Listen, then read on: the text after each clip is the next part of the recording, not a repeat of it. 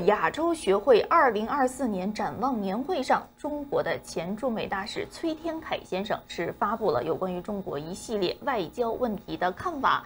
那么我们也知道，崔天凯现在是虽然没有官方的头衔了，但是啊，中国通过前官员在美国重要的非政府智库进行某一种立场的宣示，也一直是为啊。这个领导人带话或者是捎信的重要方式，而在这一次会议上啊，崔天凯大使其实也带来了几个非常重要的信息，既有有关于中美关系的信息，也有关于台海问题的相关表态。崔天凯大使到底说了什么？江有没有关注到？嗯，一月二十五日啊，崔天凯在这个出席了一个美国智库举办的活动，是亚洲社会政策研究所所举办的亚洲焦点的这个活动。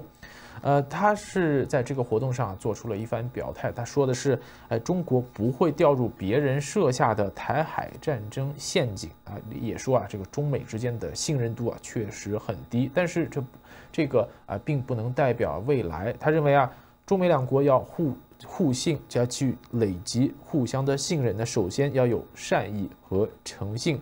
那其中，这个崔天凯谈及台湾议题时说，中国终将要实现国家统一，但是中方当然希望以最符合中国整个国家利益的方式，那包括两岸中国人利益的方式来实现统一。中方当然不想看到中国人自相残杀的形式啊，那不是中国人的做事方式。崔天凯这里就说。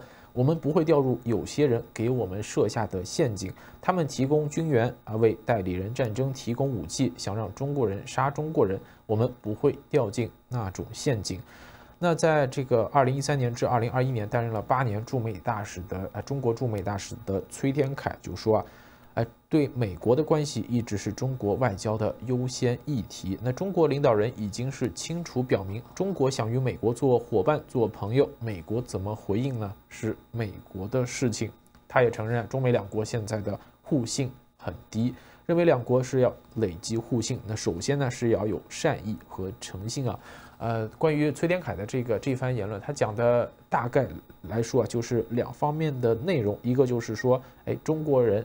不会掉入别人设下的台海战争陷阱，中国人不杀中国人。他另外还展望了一个中美关系在未来的发展。他说啊，两国的虽然现在的互信很低，但是要累积互信呢，要双方都献出某种程度的善意和诚信。啊，对于崔天凯的说法。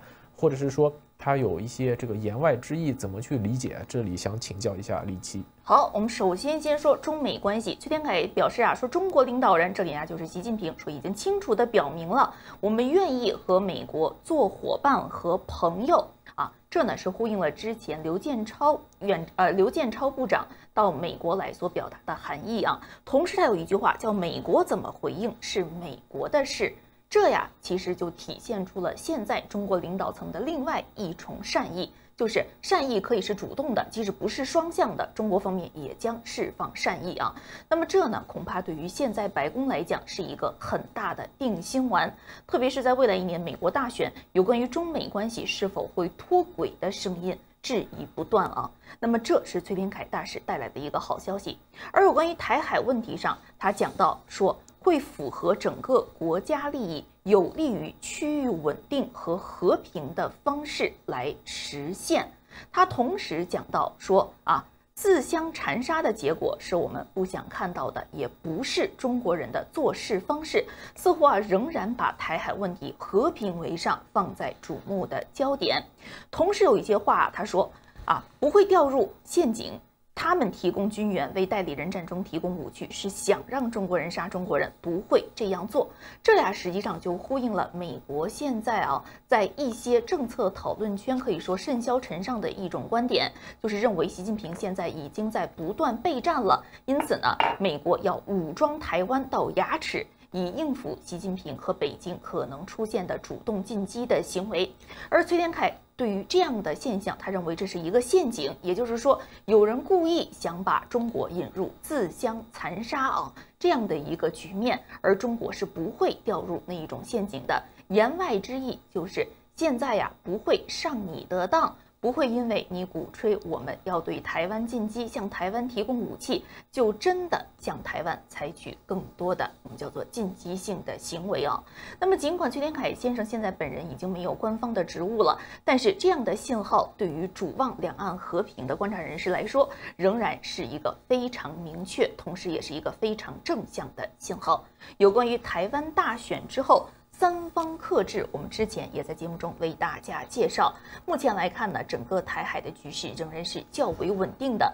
尽管啊，可以说擦枪走火的这样的一个风险是永远不是零，两岸的喊话言辞以及进击性的言论也时不时的出现。我们之前在中国简报中也为大家介绍，就在新年前夕，我们也看到。